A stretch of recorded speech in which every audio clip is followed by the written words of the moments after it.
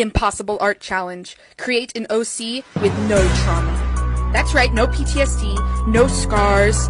They must have all four of their limbs intact. They must have a living and loving family group.